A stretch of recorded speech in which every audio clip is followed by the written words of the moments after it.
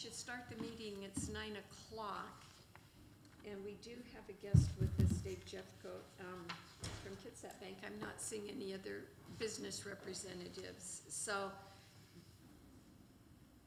we'll talk about how we want to do the agenda. But one thing that I feel is incumbent on me to say, and this is for Dave's uh, use and everyone else's use, we have been informed by our city clerk that as far as public records are concerned, this is a, an official committee of the city council. So therefore, it is subject to, um, public records request. What we have been informed of recently is if someone does a public records request and, um, your cell phones are, could be part of that, your personal cell phones. So if someone does a public records request, Brandy, perhaps you could explain how it works.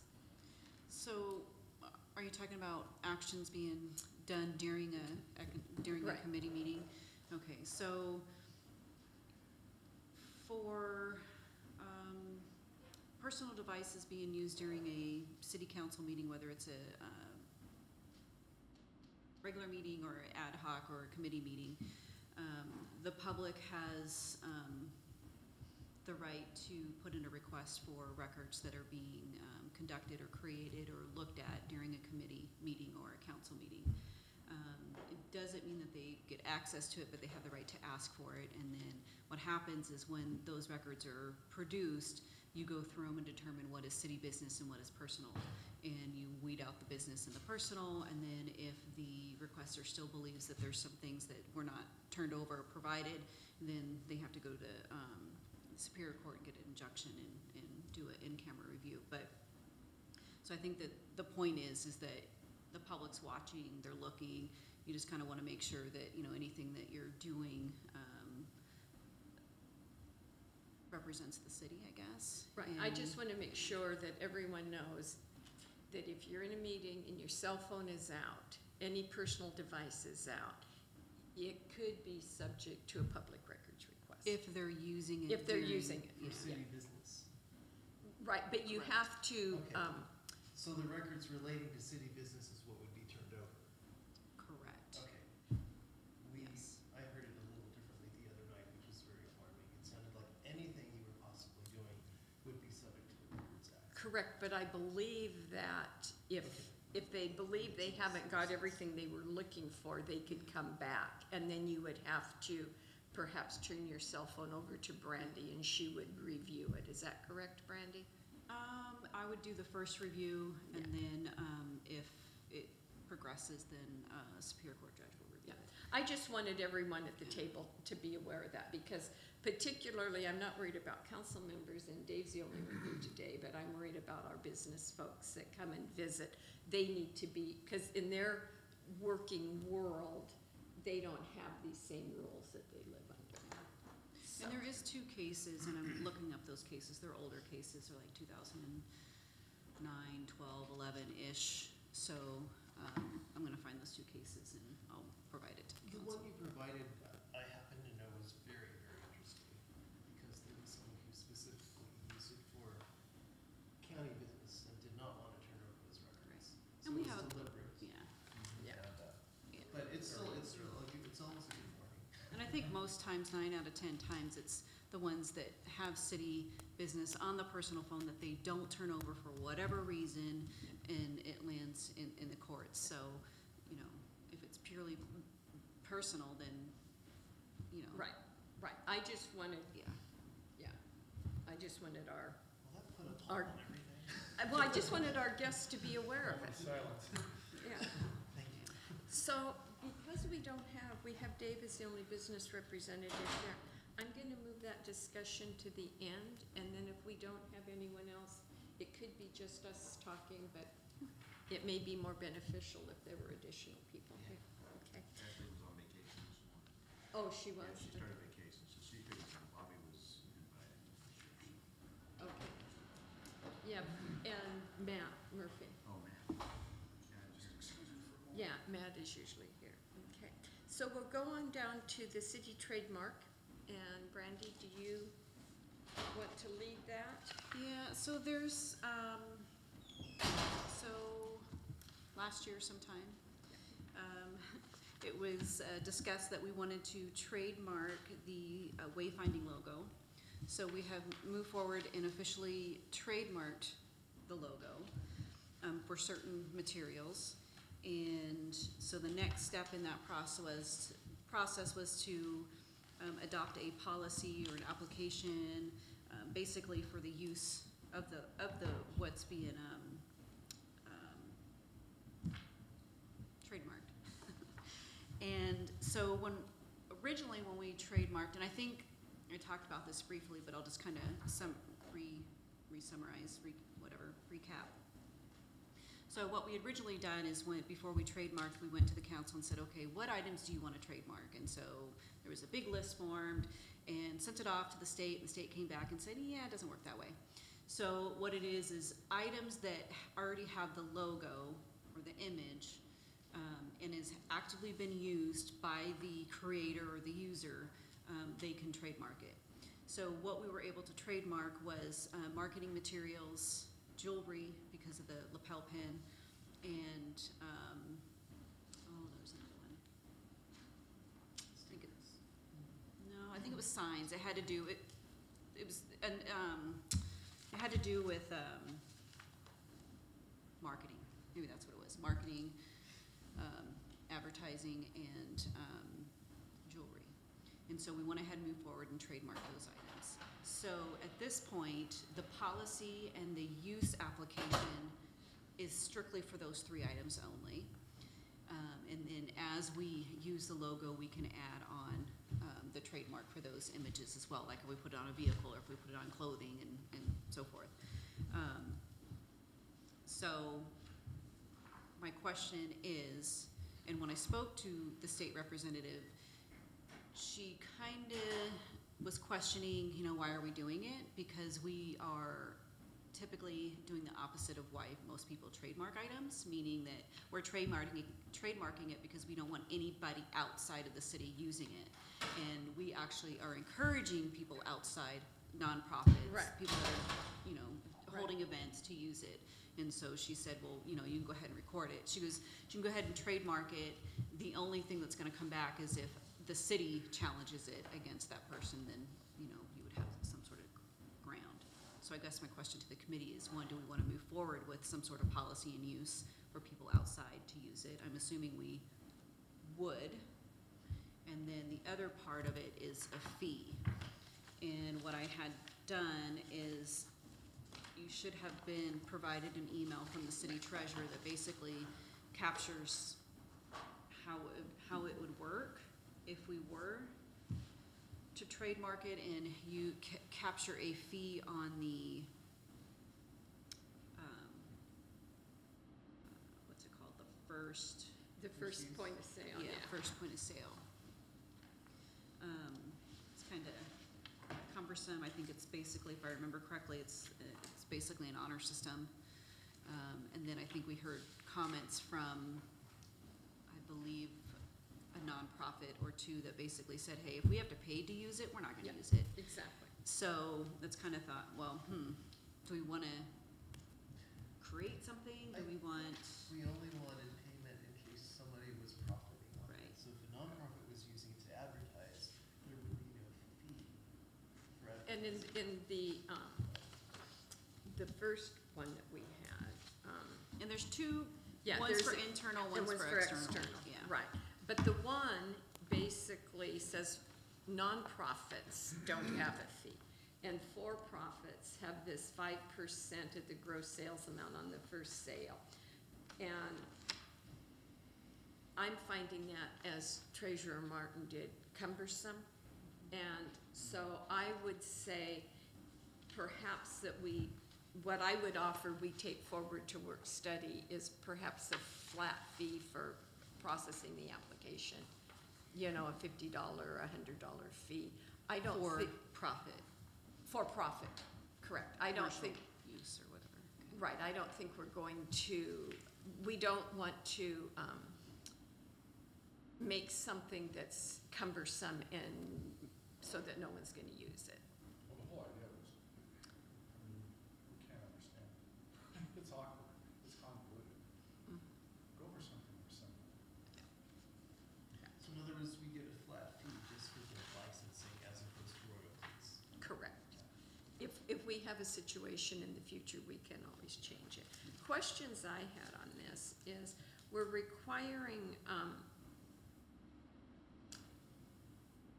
the application to be filled out. And I just wanted to make sure that that application was part of our LTAC forms or in our contract so that the people that we, the organizations that are receiving LTAC money do not have to do another step to be able to use the trademark. There is already in the agreement that they can use it. It's just part of the Right. agreement, so if you want an additional step, No, I just want to Okay. make, I just wanted to be clear that we want people, the organizations that are either have, that we've approved for events downtown mm-hmm. or that are receiving LTAC money get to use this, whatever sort of language we need in our contract or agreements, so that they don't have to go through an extra step. I think it needs to be a little bit clearer in the contract because of this new process, and I'll make sure that there's some language in the contract that gives them authorization to use. Okay. The other question I had is terms and condition for use of the Wayfinding logo. And I'm over on the second, uh, yeah, I'm gonna be right up. It says the logo shall not be used in any manner which is, oh, no, it's the top one, the one above that. The logo shall not be used in connection with marketing for any entity other than the city of Port hmm. Orchard. Yeah, that needs to be. And that confused me, because we're mm-hmm. using it for events.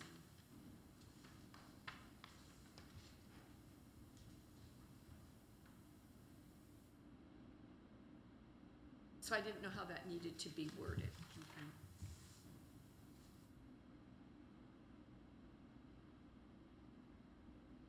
The other thing that I was um, unclear of, or is further down on that page, it says proper use. And it says the following are general guidelines for the proper use of the logo. And then it says any use of the logo that is inconsistent with these guidelines, but I couldn't find the guidelines. Hmm.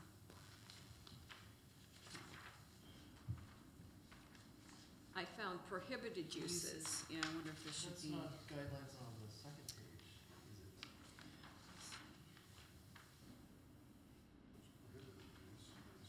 I mean, we have a, this is guidelines, is that the same? Where did you see that? The terms and conditions.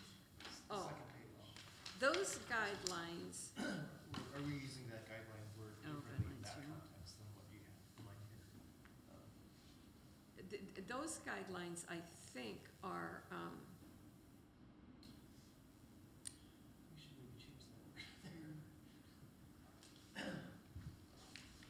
I think the guidelines on the other page have to do with approval of, uh, use of the logo. So I don't know, maybe that paragraph just needs to be reworded or something. yeah, it says it throughout it, so, okay. I'll clear, yeah, I think it keeps referring to guidelines back there. And but- maybe, maybe that, maybe that is the, but again, it, it says a lot of what you can't do. These, this here, uh, this where it says guidelines, this is, yeah, And then up on trademark logo, it uses guidelines again, so. Okay. so we just want to be clear, um, before we take it to work study, that either this section is in fact the guidelines, or we need a guidelines section, or we need a reworded.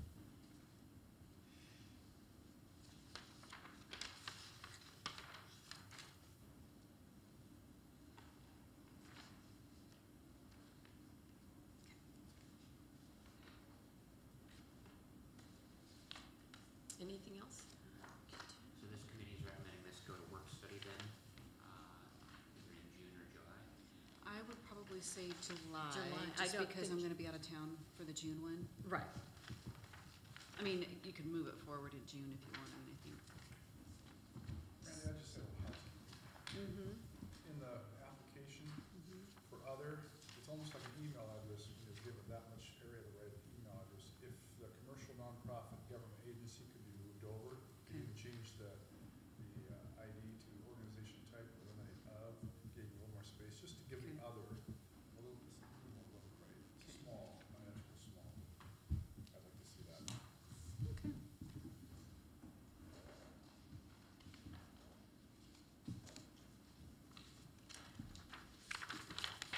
On the back of the application, um, this might, oh, it, I had circled this one, that might be words that you wanna use in the other area. Mm. Okay, so what I'm hearing is we're gonna take this forward to the July work study. Is there, is, it's an August work study that we're trying to, I think that one. Avoid- I believe so, yeah, that's the goal. okay, okay. So then we will go on to, Did, does this committee have a recommendation of what that flat fee looks like? Hundred dollars, fifty dollars? what fee? The flat Oh, fee flat fee. for commercial purposes? I would say a hundred or fifty. Once again, I wish we had examples so we would know what they're trying to do and how it impacts what they're doing, but at least fifty. Um, do we need to answer the questions that Alan Martin posed in his email? Cause it sounded like he was unclear what we what was trying to be accomplished. Have we, have we addressed that in this last paragraph?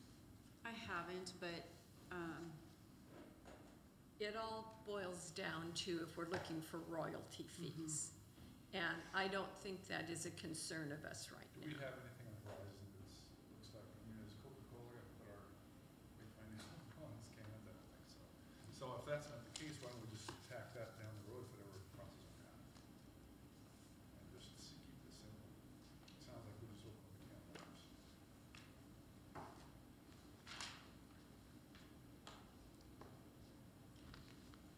Okay? So we're, um,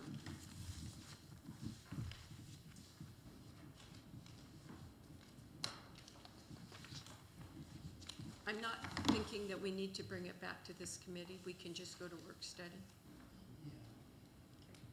Yeah. And then we will move on to the sign code, and Nick, I'll let you, Yeah, so this is, um, the sign code has moved ahead a little bit faster than we thought it would. Um, planning commissioning was able to get through it. We had nothing but positive testimony from, uh, the public at that meeting, and so they voted to unanimously recommend it. How many, how many Uh, public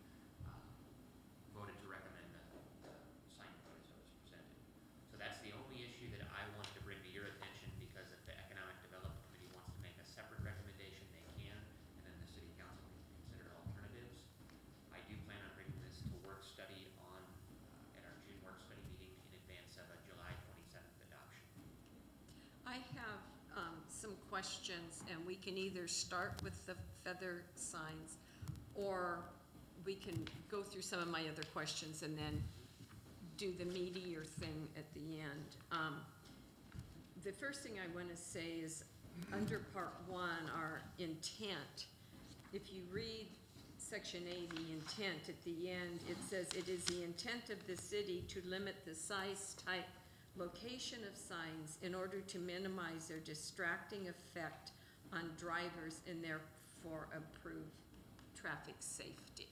So, that's one of our primary intents, I just want us to keep that in the back of our mind. When, um, and then just for clarification, interior signs, signs or displays located entirely inside of a building and located at least three feet away from transparent doors and windows. So the, the sign has to be back, Well, it's exempt, Uh, those are, those are exempt Exempt. from the sign code once Okay. it's within three feet of an interior window. okay, Um, but if it's in the window, it's subject to the window sign standards, but there's still no permit required for a window sign. okay, okay. But there are, I think there's a maximum area, we don't want you to cover your entire window with signage, just, uh, I think it's twenty-five percent of the window is the maximum. Yeah. And we have a whole section here that is ital- italicized, optional limitation on sign area. Um, What page are you on? uh, nine.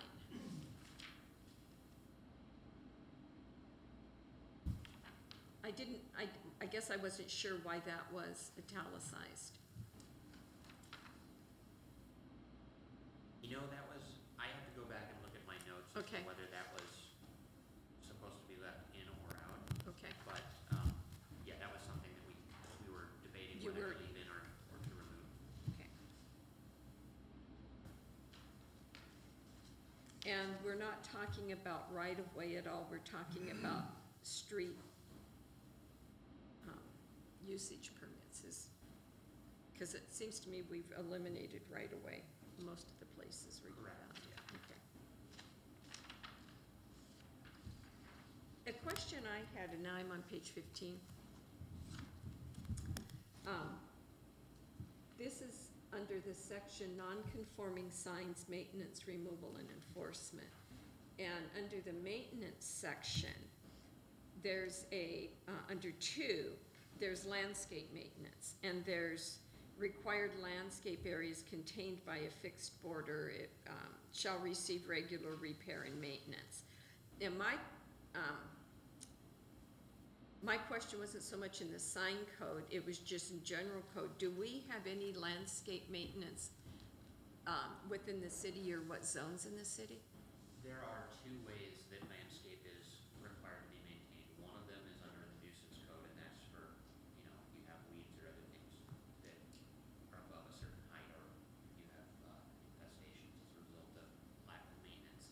Um, but when, when you develop a site and a landscape plan is a requirement of that development, you're required to maintain the landscape, landscaping in accordance with that plan. And so, um, it's only one, like, if, when Fred Meyer came in, they had to provide full landscaping plans. And once those landscaping plans become a condition of the permit issuance, and the maintenance of that is a uh, zoning requirement. And so if you fail to maintain required landscaping, then you're in violation of the zoning code.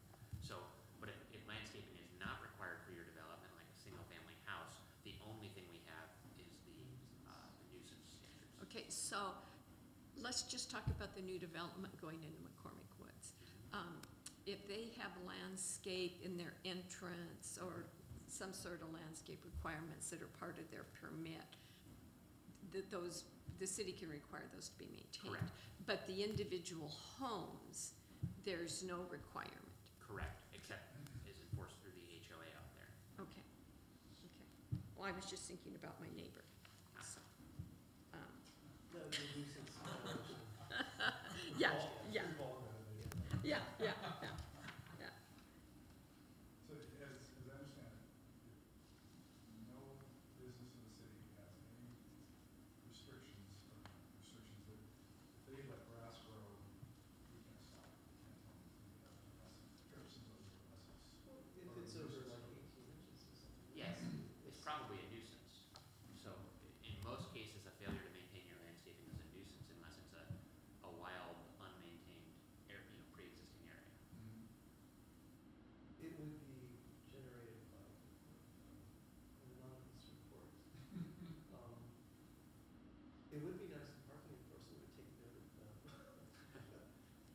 I know that we, I've had a citizen comment a couple times and I forward them on, and this helps clarify that for me.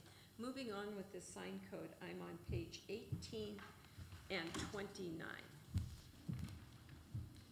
And page eighteen, under figure two, they're talking about neon signs, mm-hmm. okay? And D, it says time limitations. All signs over three square feet in area shall be turned off by nine PM or when the business closes, whichever is later. Okay, so I read that and I was cool with that, I didn't have a problem. Then I went on to page twenty-nine, and now we're talking about electronic message signs. And it says, at the top of page under three, signs shall include an auto dimming feature, oh, no, number two, nighttime. One half hour before sunset to one half hour after sunrise. And I was wondering why we had it different in the two different parts of the code. You know, is there a reason? And, and I don't care, I was just curious.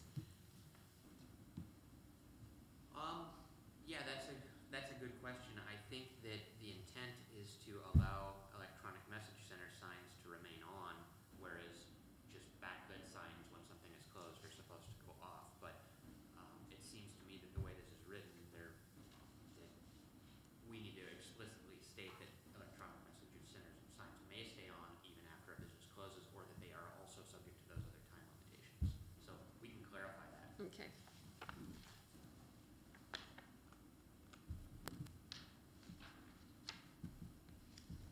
And the other thing I just want to point out, I just want to point out, on page nineteen, um, down on D, freeway-oriented signs, freeway-oriented signs are prohibited except in the following instances. So if you have a business along Highway sixteen, you're, you're not to have, um, signs oriented towards the freeway. There, there are wa- ways that you can get signs up there, but I just wanted to point that out.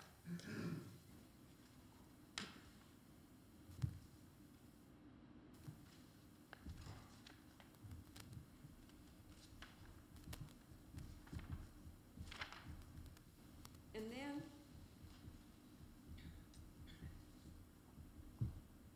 then we go to page twenty-eight. And again, I, now I know that Clancy served on the sign code committee.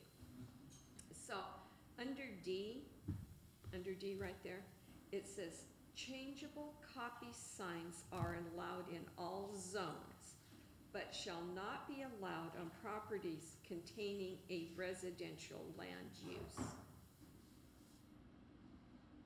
Um, which page is that again? 28.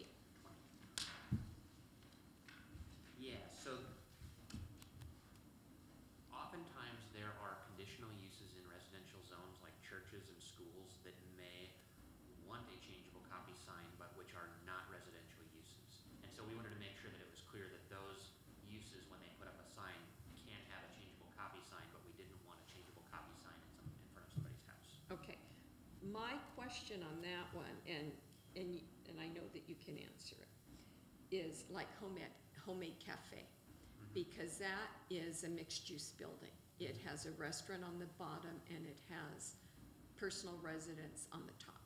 So, the way I'm reading this, because there's a residential use, they cannot have a changeable sign. Is that correct or not correct? That's correct, yes. So, so we may want to figure out how to make that okay, Mhm. because she will put up there, you know, open for dinner Thursdays and Fridays, or, you know, chowder's the special of the day or whatever. She has a sign there that changes. Okay, I think we can just add, um, the words unless the property contains, Mixed use, or, yeah, a mix, mix of uses. Okay, I just didn't want to, um, Oh, well,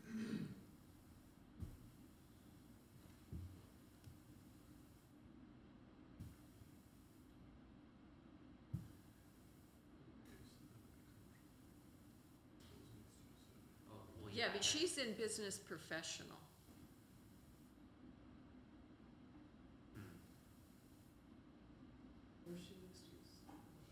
No, I think, isn't business professional, isn't it basically from the courthouse down to us? Yeah. Yeah. I, I would have to look at the map to Yeah. confirm that, but, um, I, I understand what you're saying, I think we can provide some additional language there. Um,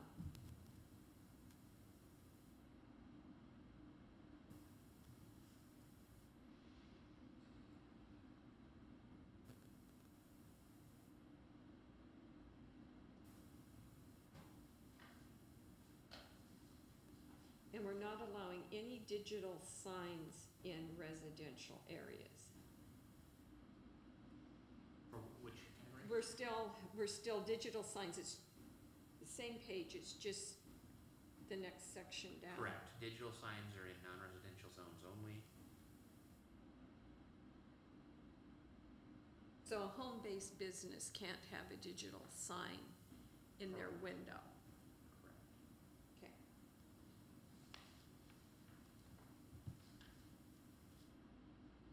Um, okay, then we did the time issue.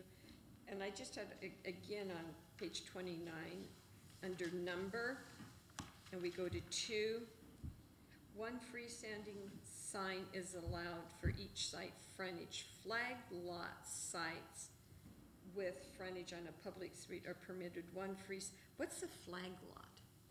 It's, it's where you have a narrow driveway that is maybe like fifteen feet wide, and it will go back to a larger lot that then opens up and the building is behind another lot. So you, you basically have a driveway entrance that goes out to the main road, but you, you don't have the full width of your, the developable portion of the lot. Okay, do we have, I, I'm sorry, I should have, That term's defined in the zoning code. okay, because I couldn't find it Yeah, in it's the some, back. Okay, there's a couple of other terms that sometimes are used, panhandle lot. okay.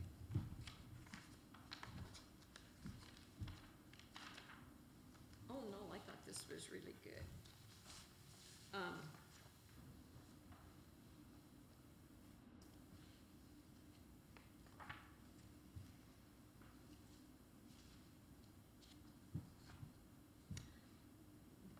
now I guess.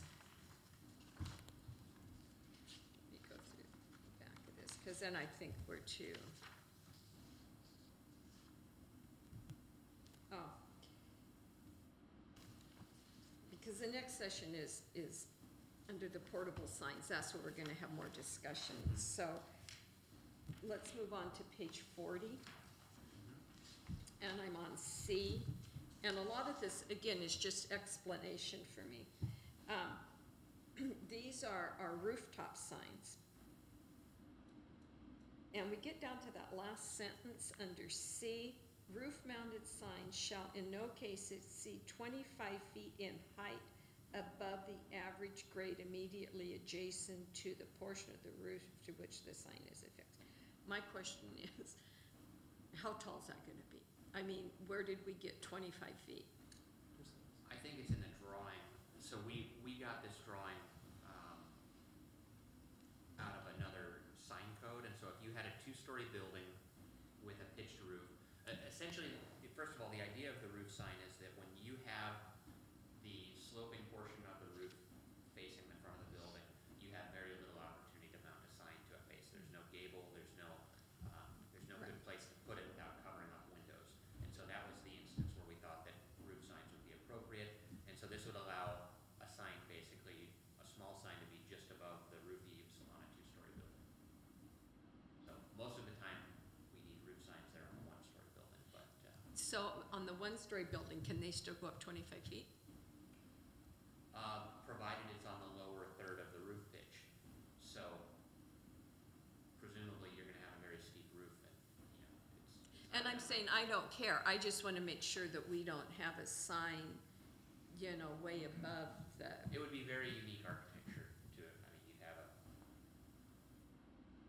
you'd have to have a fifty-foot building at least to, to get a sign up twenty-five feet on one story. With the bottom, if the gutter of the roof is at one story, I mean, you're gonna have three stories above the, above that, so I don't think you'd see construction like that. Okay. I just, it just was something that came, um,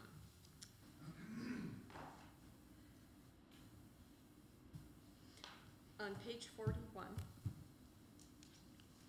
again, I just kind of want to make sure I understand this. Um, we're under, um, section that, where it says sign walkers. Mhm. Sign walkers are allowed subject to the following standards. Um,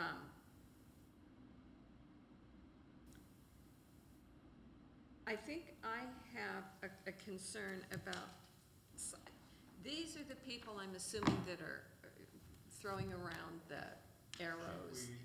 Yeah, cheap weed, right, or, you know, Liberty Tax Service, or, or whatever it is. And I'm wondering if we want to allow those on, um, our through streets, mainly 160, 166 in Tremont. The reason that this is written the way that it is, is there's very specific case law in Washington that actually involves Kitsap County, and so this was written to pass a legal test. And Okay, I don't think you wanna tamper with it okay, yeah, no, I just, are yeah. prepared to fight for it. okay, A good explanation from Nick, we went with it. okay. Okay, and then we get back, okay, so, we will go back to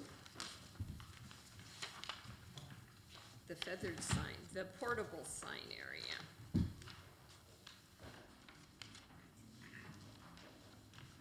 So I, I will start the portable sign discussion, I'm gonna give you a little background on this. When we initially presented a draft sign code to the sign advisory committee, feather signs were not allowed at all. And so this was something that the committee felt was important, and they had long discussions on how many and what the spacing ought to be, or how you ought to, to determine the spacing. I think the size of a feather sign, we had a sign maker in the room, and these things come in pre-assembled packages, and so we had an idea of what the standard dimensions typically look like. And so if we're going to allow them, I don't think it's a matter of what size they are, but, but more the location and quantity that should be allowed. Um, however, once we started having this discussion, they said, well, if we're gonna allow twelve sign, feather signs, why don't we allow more A-board signs? And Correct, why are that you- was, that was why one are of you my questions. arbitrarily only allowing one or two A-board signs when you're allowing up to twelve feather signs? And I said, well, we didn't propose to allow feather signs at all. Correct, Um, so, just a little background on, um, where that discussion has gone, and, uh, and then the, the handout that I provided you was, um, the staff worked with Stephanie Bailey, one of our planning commissioners, on presenting some alternative language. She was not able to attend that planning commission meeting where they voted on this, but she sent her recommendation in. Uh, and this was the, what's shown on this sheet is the only part of her recommendation that was not adopted. And, uh, the planning commission ultimately decided not to change anything, uh, in this section except for, uh, the last sentence for multi-tenant lots, which was an addition that, that they provided. okay, um,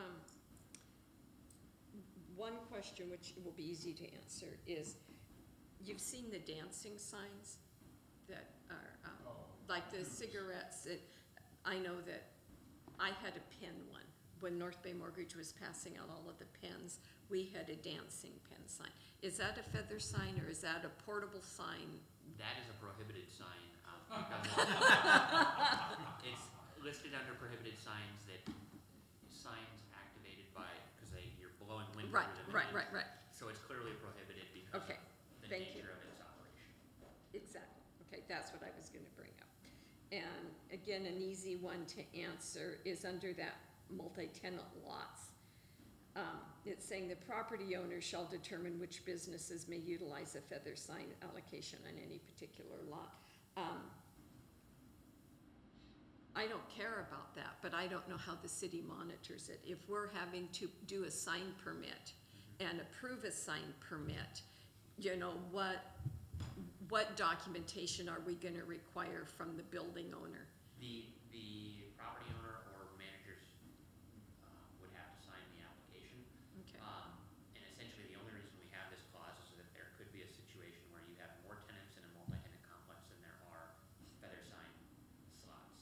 And so that becomes a, an issue for, if the, if the landlord is going to pick one business over another, he has to make that explicitly clear in his leases.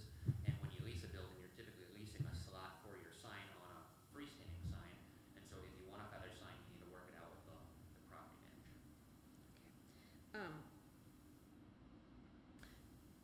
when the committee was making these decisions and having this deliberation, was any information brought forward regarding, um, number of feather signs on a lot to increase in economic value to the business? No. No, I think that it was anecdotal information. I think that, um, there's an example of, uh, the chocolate, uh, Carter's Chocolates downtown. I think they have two of them at their entrance and they're, uh, tucked back away, you know, they're not highly visible and they felt that it was very important to a business like that to be able to have some feather sign. Um, I think that also the Homemade Cafe was another one where they're not on the main road and it's a way to, you know, let people know that there's a business, uh, present, but, um, that was the sort of information that we had, and we talked about Bay Ford a lot, and what would be an appropriate number of feather signs for a large lot like that, where you have, you know, a few hundred feet of frontage, and, um, and I think that's what the number, you know, if you, if they wanted to have a bunch of them, twelve wouldn't seem like the right amount for a place like Bay Ford. Okay, so there wasn't any statistics given, it was just what they thought or how they felt? Yes. Okay, was there any discussion or any evidence brought forward about distracting drivers and potential um, collisions because of feather signs? No.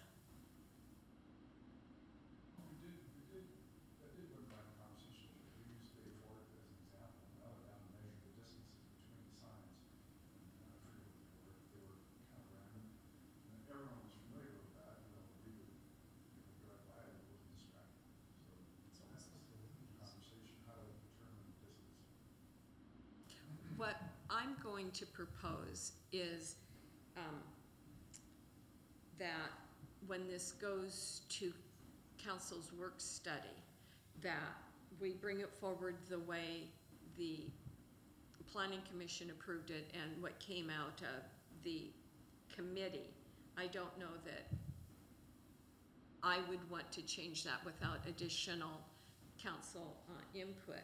I would like it, I would like also brought forward the um, suggestion by Stephanie Bailey, or the one that she supported, because she was unable to vote the night at the planning commission. I would like that brought forward as an alternative. I would also like an alternative brought forward going back to our intent that I originally read when we came in, was that, um, it's the intent of the city to limit the size, type, and location of signs in order to minimize their distracting effect on drivers. What we have, the testimony we've heard today that came out of both the planning commission and the, the sign code committee is the reason they want the feather signs is because they are in fact distracting. They are not an informational sign saying, uh, with an address or with, this is how you get into our building. They're, you know, they're not informational. That their intent is to draw your attention to them. And my proposal is that if, if, if it's critical to the commercial, to our businesses, that they can put one every ten feet, okay. But I don't think they should be put every ten feet on Sedgwick. Um, where we have our state highways and Tremont, where we are transporting volumes of people, I don't think we need distracting signs in those locations. To me, the, the, um, where we know traffic is going to run slower and there will be a lot of ingress, egress, are in roads like Bethel, um, you know, maybe Pottery, that Sedgwick, but where we're moving cars through, and that's the intent of those streets, I don't think we need distracting signs. Uh, I have no problem with location signs, but I do have a problem with distracting signs. Um, and I think if we had, let's just take Sedgwick for an example, you could have West Coast Fitness with twelve feather signs. You could have the car dealership with twelve feather signs. You could have, um, the marijuana store on the other side with twelve feather signs. And you've got a lot of activity, and we're putting twenty-five thousand cars a day down that stretch. I don't think it's an appropriate place for that number of feather signs. So I would like that brought forward as another, um, alternative. So, so that would be a street-specific prohibition? So which, so would it be Bay Street? The, the thing about Bay Street and their, and their testimony on Bay Ford is that is already, um, uh, a commercial area. And I'm, he's got four feather signs down there right now. I personally don't wanna see another eight feather signs on there, plus all the cars. I mean, it's, but I have a little bit of different feeling. So if, if the solution is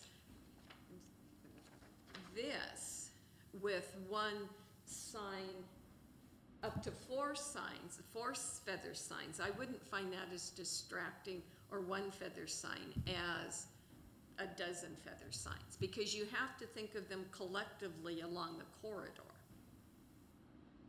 And if you remember, I pointed out earlier that as far as the freeway's concerned, you can't have any sign oriented through the, towards the freeway. And again, that's for traffic safety. So I would just like that to be a discussion at work study. I, I, I guess when I, I think that you're, when you named Sedgwick and Tremont, those are both, you know, we have very limited east-west corridors and they move a whole lot of volume. Correct, Uh, Bay Street is the third of our east-west. Right. West corridors, but it's the one that has the most pedestrian activity. and so correct. You're talking about pedestrians versus primarily automobile corridors, although that may be changing, especially as we pedestrianize Tremont. Um, But yeah, I think that makes sense. So, so it would be Sedgwick and Tremont are the two that I hear initially. Parti- Particularly Tremont, we're gonna have it under construction, so, you know, that kind of makes it a moot point for a while. But once it is up and running, we've got a whole educational thing to our community about how to go through these two roundabouts. And if you have a bunch of fluttering signs there, I don't think that that's, um, you know, in the best interest of safety until perhaps sometime in the future. The other thing that I would like us to consider, and I don't know if we would put it in this, but as we do our individual sub-area plans, I think um, there may be sign restrictions or availability of signs perhaps specific to each sub-area plan. I definitely agree with your concern for public safety and driving. I'm, I'm not sure that I would agree with prohibiting the feather signs on those areas. Um, to the, just an outright prohibition, maybe eliminating. Um, I have to admit that I don't drive a lot during the busiest times, so it affects me differently when I do drive. And to me, the feather signs are more of a decoration or a balloon or like a flag than something that's distracting. It could be that I just tune out all this stuff. Am I correct? I think that I would be a lot more supportive if we had had statistical data on the economic Like how it. Right, Yeah. ha- you know, because I don't want to remove that from any of our businesses. But if it's, if, if they can accomplish the same with one flag every fifty feet. I think that would be aesthetically more, more pleasing. So one of the other things, and um, some of the other comments you had earlier in the meeting um, led me to think about the prohibited sign section on page six. In six, uh, section one forty, prohibited signs, A, animated signs. I mean, feather signs uh, I would, very, are very close to being an animated sign. Right, and, and I had made note of that, yeah.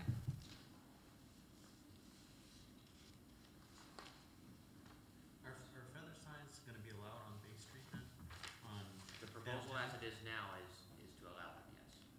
See, and I have concerns just going down Bay Street if some, if that were just, um, all feather signs.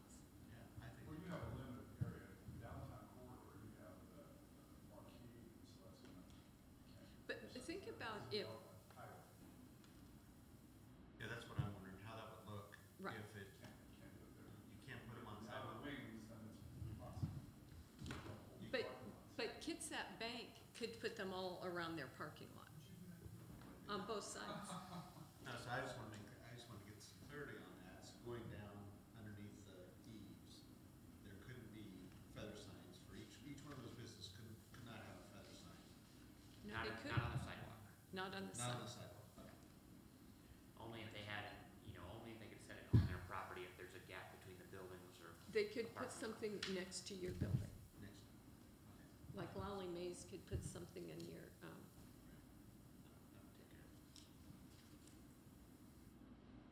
and, and going around, um, the um, roofer could put something, Penfeed could put something, yeah. Well, and and actually, it, it can be allowed, but only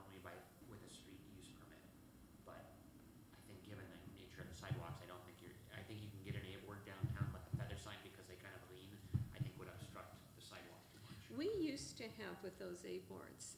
They had to have an application and um, certain insurances. Mm-hmm. And that's Do- a requirement of the speed permit. Okay, and so the same would be required on feather signs? Correct. Okay,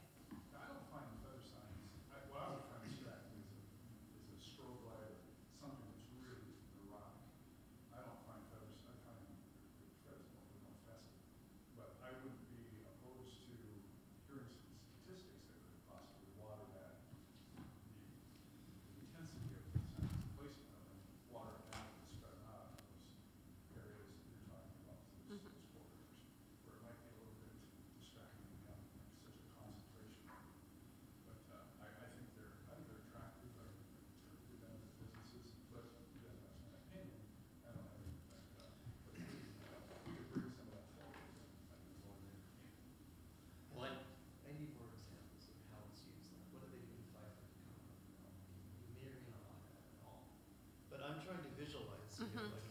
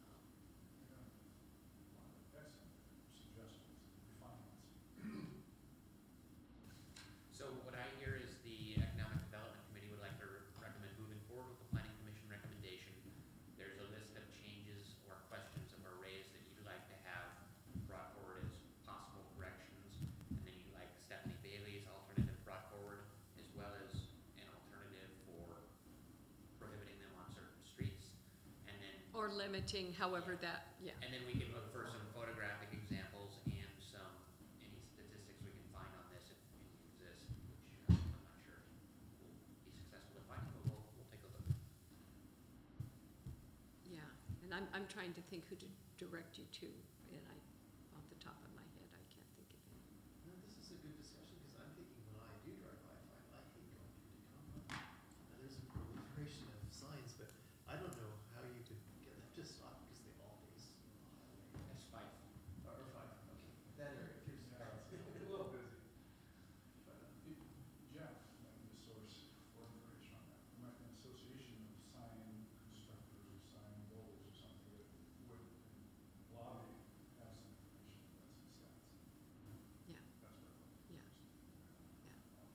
Because we definitely don't want to take anything away from our business community that would, Right. that would help them, but we also want to be mindful of our other responsibilities. Unintended Yeah. Oops. Yeah, yeah, yeah, because once they go up, it's hard to get them down. And I would also say where you find them decorative, there's a couple along Bay Street that I find tattered and, um, you know, they're not maintained very well. So that's the other thing you wanna think about do you want um,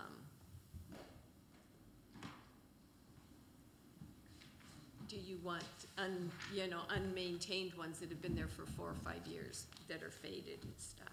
So with that said I think we've completed all of our agenda and we'll go back to the business representative. And do we want to talk or do we want to just try and get together the group when people are available?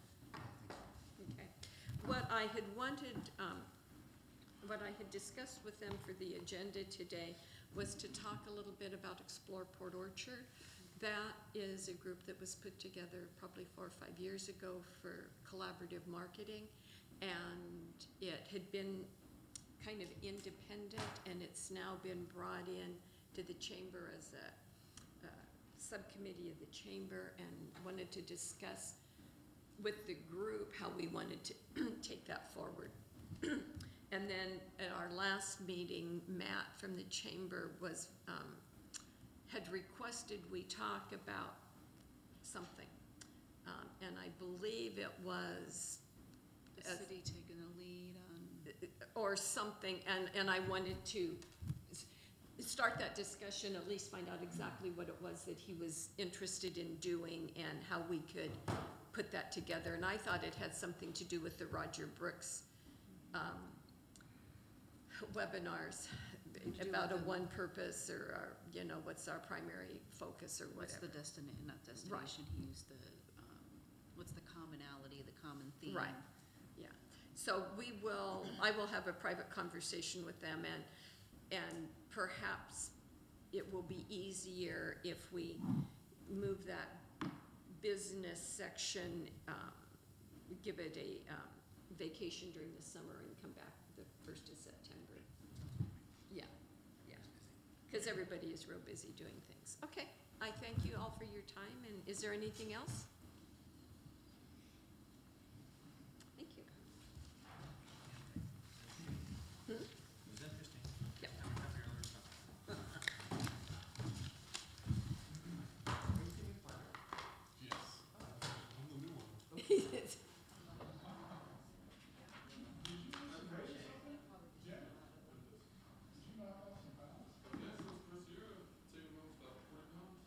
Wow. That's why we don't recognize you. What show, is that over the suntan through the out? No, I've been, I, I cut out second dinner, on the auto you know, the go home and have dinner, and then like ten o'clock, we have another dinner. Oh, yeah. Yeah, Just this is- so we shut that out, cut out soda, just walk, that's it. Wow, thanks. Well, I, I tried the, uh. I Bell- will- Bell- Um, Other side, That's not good. um, I won't be there Thursday, I, Now my mouth was finally.